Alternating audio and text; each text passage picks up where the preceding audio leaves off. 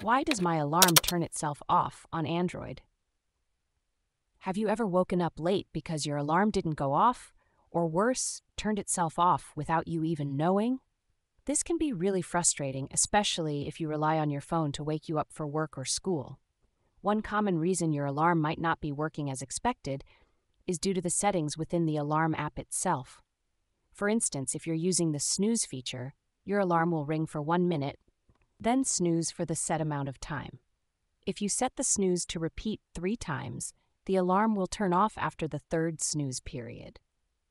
Another issue could be related to the sound source you've chosen for your alarm. Some users have reported problems when using music streaming services like Spotify as their alarm sound. It seems that Spotify sometimes doesn't produce any sound when the alarm is supposed to go off. To fix this, you can switch to the built in alarm sounds on your Android device.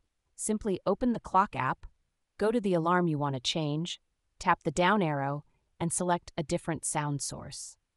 Your phone's settings can also interfere with your alarm. For example, if the auto restart feature is enabled, it can reboot your phone at scheduled times, which might kill your alarms.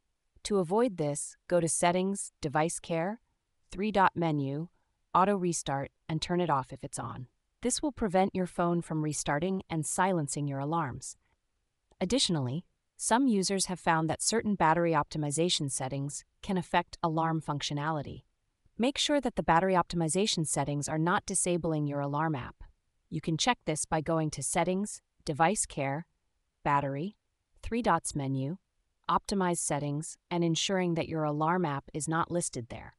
So, if your alarm is turning itself off, it's likely due to one of these settings or features. By adjusting your snooze settings, changing your alarm sound source, and checking your phone's restart and battery optimization settings, you can ensure your alarm works as it should.